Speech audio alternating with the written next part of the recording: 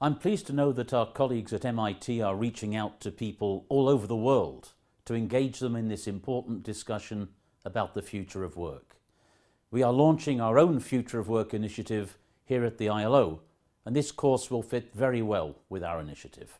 Look, I think that our Future of Work initiative responds to, to two essential things. One's got to do with need, one's got to do with opportunity. Uh, the need comes from the fact, and we're all conscious of this in our everyday lives, that there is massive change taking place in the world of work, transformative change uh, at a pace and at a depth that we don't really have experience of in the past.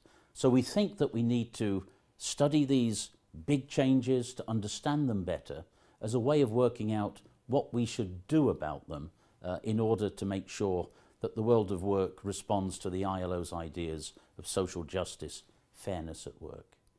And then there is the opportunity. And the opportunity comes from the fact that in, in three years' time, in 2019, the ILO will celebrate its 100th birthday, its centenary. So what better opportunity, they don't come round that frequently, what better opportunity than that to have this in-depth reflection about the direction that the world of work is taking and what we can do to shape it, to move it towards these ideals of social justice. We are proposing uh, to our member states that they structure their national dialogues around four conversations. And very quickly, uh, one is to do with work and society.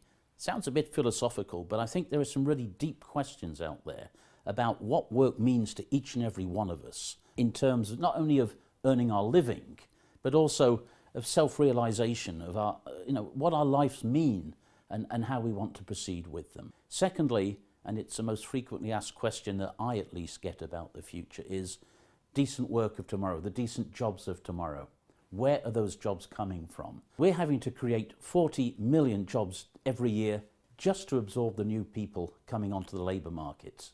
Uh, and frankly, we're not able to do it at the moment. So we have to be able to discuss the nature and the origin of work in the future. The third item is about the organisation, the organisation of work and production.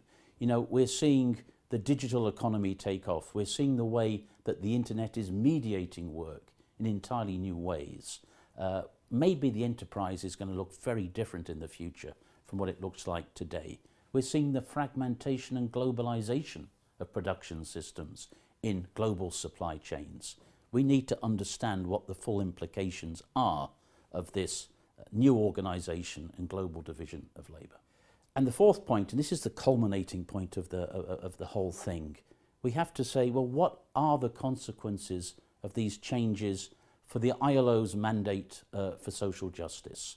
How can we shape, manage all of these changes so that we keep the world moving in this direction of social justice? So let me end by encouraging everyone to join us in using the ideas and the information presented in this course to improve the future of work for people all around the world.